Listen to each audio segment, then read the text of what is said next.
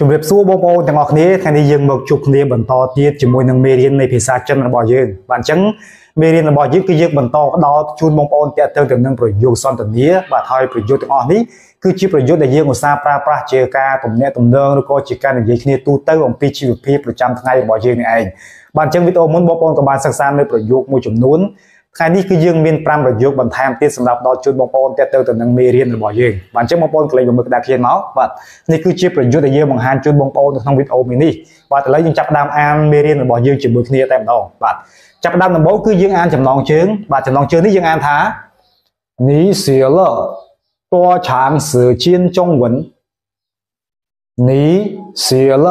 តួឆាងសឺជៀនចុងវិន នីសៀលតឆាងសឺជៀនចុងវិញបាទអញ្ចឹងចំណងជើងរបស់យើងក៏ជាឃ្លាមួយដែរបាទដែលយើងបកថាតើអ្នករៀនភាសាចិនរយៈពេលយូរប៉ុណ្ណាហើយបាទតើអ្នករៀនភាសាចិនរយៈពេលយូរប៉ុណ្ណាហើយបាទអញ្ចឹងចំណងជើងនេះគឺយើងចង់សំដៅទៅលើការសន្ទនាគ្នាតាក់ទងទៅនឹងការសួរនាំអំពី ការសិក្សាទៅលើភាសាចិនហើយក៏ដូចជាមេរៀនរបស់យើងនេះគឺសន្ទនាតាក់ទងទៅនឹងប្រយោគមួយចំនួនដែលយើងប្រើប្រាស់ក្នុងការទំនាក់ទំនងប្រចាំថ្ងៃផងដែរបាទអញ្ចឹងចំណងជើងមួយនេះគឺយើងយើងបកប្រែបែបហ្នឹងឥឡូវយើងមកមើលពាក្យនីមួយនីមួយនៃចំណងជើងមេរៀនរបស់យើងវិញបាទពាក្យថានេះយើងបកថាអ្នកសៀបាទសៀនេះរៀនឬក៏សិក្សាបាទលបាទលនេះហើយបាទតឆាងសឺជៀន4ពាក្យនេះតឆាងសឺជៀនរយៈពេលយូរប៉ុណ្ណា បាទតឆាងនេះយូរប៉ុណ្ណាហើយសើជៀនរយៈពេលបាទអញ្ចឹងតឆាងសើជៀនរយៈពេលយូរប៉ុណ្ណាបាទចុងវិនបាទចុងវិនភាសាចិនបាទចុងវិនភាសាចិនបាទអញ្ចឹងនេះសៀលតឆាងសើជៀនចុងវិនបាទតើអ្នករៀនភាសាចិនរយៈពេលយូរប៉ុណ្ណាហើយបាទនេះគឺជាចំណងជើងមេរៀនរបស់យើងឥឡូវយើងក៏លេខមកមើលប្រយោគរបស់យើងវិញដែលតំណាងឲ្យការសន្ទនារវាង ប្រយោគ A និងប្រយោគ B ដែលជាតំណាងបាទអញ្ចឹងយើងអាចថាតំណាងមនុស្ស2នាក់ដែរបាទម្នាក់ទី1គឺតំណាងឲ្យ A ម្នាក់ទី2គឺតំណាងឲ្យ B បាទអញ្ចឹងយើងបន្តជាមួយនឹងប្រយោគរបស់យើងអឺវីដេអូមុនគឺយើងបានសួរថាប្រយោគប្រយោគ B គាត់បានសួរថាតើរថយន្តខូចនឹងត្រូវការជួសជុលរយៈពេលយូរប៉ុណ្ណាបាទអញ្ចឹងឥឡូវនេះប្រយោគ A គាត់ឆ្លើយបាទគាត់ឆ្លើយតបជាមួយនឹងសំណួររបស់ប្រយោគ B កាលវីដេអូមុនបាទអញ្ចឹងគាត់ឆ្លើយថា 大概半个小时大概半个小时大概半个小时បាទយើងបកថាប្រហែលជាកន្លះម៉ោងបាទប្រហែលជាកន្លះម៉ោងបាទអញ្ចឹងបានថាប្រយោគ B វីដេអូមុនគាត់សួរថាឈើសៀវលីតឆាងសើជៀនបានថាជួសជុលរថយន្តនឹងត្រូវការរយៈពេលប្រមាណអញ្ចឹងប្រយោគ A គាត់ថា ប្រហែលជាកន្លះម៉ោងដោយសារតែប្រយោគ A ឡានរបស់លោក A នេះគឺខូចនៅពេលដែលខូចហើយអញ្ចឹងទៅគាត់មកជួបជាមួយនឹងលោក B នេះគឺធ្វើឲ្យមានការយឺតយ៉ាវអញ្ចឹងអឺយឺតយ៉ាវនៃការដែលមកមកជួបនេះគឺដោយសារតែមូលហេតុខូចឡានឯងបន្ទាប់មកលោក B ក៏សួរថាជួសជុលឡានរយៈពេលយូរប៉ុណ្ណាអញ្ចឹងលោកអេនឹងក៏ឆ្លើយថាជួសជុលប្រហែលជាកន្លះម៉ោងបាទអញ្ចឹងយើងយល់អំពីអត្ថន័យនៃប្រយោគដែលយើងបន្តគ្នាហើយបាទពាក្យថាតកាយនេះយើងបកថាប្រហែលបាទប៉ានកសៅសឺ4ពាក្យនេះ ប៉ានកសៅសឺយើងមកថាកន្លះម៉ោងបាទពាក្យថាប៉ាននេះយើងចង់សំដៅទៅលើកន្លះហើយសៅសឺនេះយើងចង់សំដៅទៅលើម៉ោងអញ្ចឹងប៉ានកសៅសឺកន្លះម៉ោងបាទអញ្ចឹងបើសិនជា1ម៉ោងយើងប្រើពាក្យអ៊ីកសៅសឺ2ម៉ោងលាងកសៅសឺបាទអញ្ចឹងយើងបដូរចំនួនដែលនៅខាងខាងមុខខាងមុខម៉ោងនេះបងប្អូនចង់ដាក់ប្រហែលម៉ោងយើងដាក់ចំនួនម៉ោងទៅគឺបានហើយបាទសៅសឺនេះគេបកថាម៉ោងបាទអញ្ចឹងតាកៃប៉ានកសៅសឺប្រហែលជាកន្លះម៉ោងបាទបន្តទៀត លោកអេគាត់និយាយមកឃ្លាទៀតគាត់និយាយថាភិញសឺអ៊ីកើចុងធោជាវនឹងតោភិញសឺអ៊ីកើចុងធោជាវនឹងតោភិញសឺអ៊ីកើចុងធោ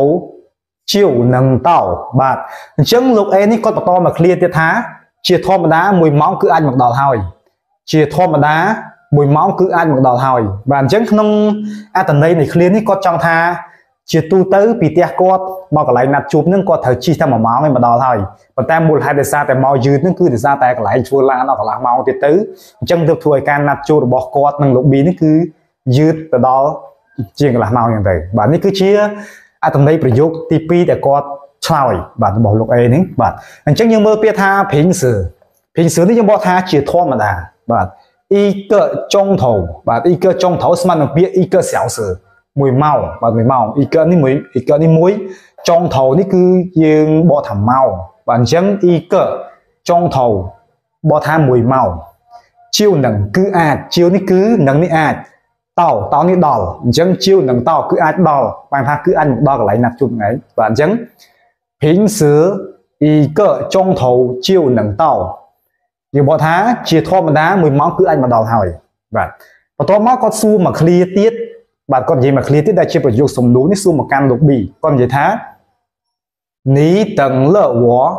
តឆាងសិជិននីតឹងលើវតឆាងសិជិននីតឹងលើវតឆាងសិជិនបាទអញ្ចឹងមួយឃ្លានេះបាទយើងបកថា អ្នកចាំខ្ញុំយូរប៉ុណ្ណាហើយបាទអ្នកចាំខ្ញុំយូរប៉ុណ្ណាហើយបាទអញ្ចឹងគាត់ចង់សួរលោក B នេះ មកដល់កន្លែងណាត់ហ្នឹងយូរប៉ុណ្ណាហើយដែលមិនត្រូវរងចាំគាត់ហ្នឹងពីព្រោះបើនិយាយពីគាត់ទៅគឺគាត់យឺតហើយគាត់យឺតពីព្រោះថាកន្លែងចូលធ្វើឡានអីចឹងទៅកន្លែងហ្នឹងមកតាមផ្លូវទៀតគឺយឺតមកអញ្ចឹងមិនដឹងថាលោក B នេះគឺមកចាំតាំងពីពេលណាទេអញ្ចឹងគាត់ចង់សួរថាតើមកដល់នឹងចាំគាត់យូរប៉ុណ្ណាហើយបាទនេះគឺជាអត្ថន័យនៃសំណួររបស់លោក A មកកាន់លោក B បាទអញ្ចឹងយើងមើលពាក្យថានីយើងមកថាអ្នកតឹងបាទតឹងនេះរងចាំបាទលក់លក់នេះហើយបាទ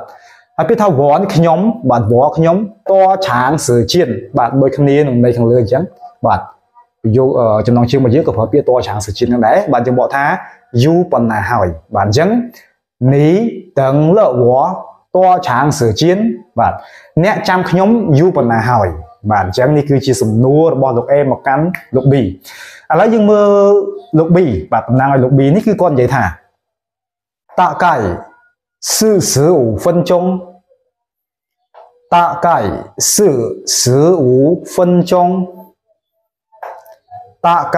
四十五分钟បាទអញ្ចឹងក៏គាត់ឆ្លើយថាប្រហែលជា45នាទីបាទប្រហែលជា45នាទីបាទអញ្ចឹងបានន័យថារយៈពេលដែលគាត់មកដល់កន្លែងណាត់ហ្នឹងហើយគាត់ចាំលោក B នេះគឺប្រហែលជា45នាទីហើយដែលគាត់អង្គុយរងចាំអញ្ចឹងទៅបាទនេះគឺជាចម្លើយបាទចម្លើយរបស់ លោក B ទៅកាន់លោក A បាទអញ្ចឹងបងប្អូនមើលពាក្យថាតាកាយបាទតាកាយនេះដូចជាពាក្យខាងលើនឹងដូចគ្នាដែរបាទយើងបកថាប្រហែលបាទប្រហែលសឺសឺបាទពាក្យនេះគឺជាចំនួនលេខដែលយើងធ្លាប់រៀនរួចហើយបាទមេរៀនរបស់យើងតាំងពីវគ្គដំបូងយើងរាប់រាប់លេខបាទអញ្ចឹងសឺសឺនេះអឺ40អ៊ូនេះ5អញ្ចឹងសឺសឺអ៊ូយើងបកថា45បាទ45ហើយពាក្យថាហ្វិនចុងបាទហ្វិនចុងនេះយើងចង់សំដៅទៅលើនាទីបាទនាទី អញ្ចឹងស៊ឺស៊ឺអូវិនចុង45នាទីបាទប្រយោគទាំងមូលតាកៃស៊ឺស៊ឺអូវិនចុងប្រហែលជា45នាទីបាទអញ្ចឹងយើងមកមើលប្រយោគ A បាទដែលជាប្រយោគចុងក្រោយក្នុងវីដេអូនេះបាទយើងអានថាចិនទួយពូឈីចិនទួយពូឈីចិនទួយពូឈីបាទយើងបកមកយើងបកថាពិតជាសុំទោសណាស់បាទ ពិតជាសុំទោសណាស់បាទអញ្ចឹងអត្តន័យរបស់គាត់នេះគឺគាត់ពិតជាសុំទោសខ្លាំងមែនទែនបាទចំពោះលោក B ដោយសារតែធ្វើឲ្យគាត់រងចាំដល់ទៅ45នាទីបាទអញ្ចឹងមូលហេតុដោយសារតែរថយន្តរបស់គាត់ខូចបាទគាត់ខូចគាត់ជិះមកហ្នឹងគឺវាខូចតាមផ្លូវទៅហើយគាត់ត្រូវចំណាយពេលកន្លះម៉ោងដើម្បីជួសជុលអញ្ចឹងទៅវាធ្វើឲ្យការណាត់ជួបហ្នឹងគឺមានការខកម៉ោងក៏យឺតពេលនឹងឯងបាទអញ្ចឹងគាត់ក៏និយាយថាចិនទួយពូជីពិតជាសុំទោសណាស់បាទ មិនចង់ឲ្យមានរឿងចឹងកើតឡើងទេបាទអញ្ចឹងយើងមើលពាក្យថាចិនចិននេះយើងบอกថាពិតជាទួយពូជីនេះសុំទោសដល់ពេលយើងប្រើពាក្យចិនទួយពូជីគឺពិតជាសុំទោសខ្លាំងណាស់ឬក៏ពិតជាសុំទោសណាស់បាទអញ្ចឹងនេះគឺជាអឺប្រយោគឬក៏អត្ថន័យនៃប្រយោគ B ប្រយោគ A ចុងក្រោយនៅក្នុងវីដេអូរបស់យើងបាទ បាទអញ្ចឹងបងប្អូនទាំងអស់គ្នាថ្ងៃនេះគឺយើងមានតែប៉ុណ្្នឹងទេបាទចំនួន5ប្រយោគខ្លីៗងាយងាយតាក់ទងទៅនឹងការសន្ទនារបស់យើងដែលយើងនិយាយតាក់ទងជាមួយនឹងមេរៀនរបស់យើងបាទអញ្ចឹងបងប្អូនឃើញថានិយាយអំពីសួរនៃការនិយាយភាសាចិនសោះមិនបាននិយាយមកមានតាក់ទងអញ្ចឹងបាទអញ្ចឹង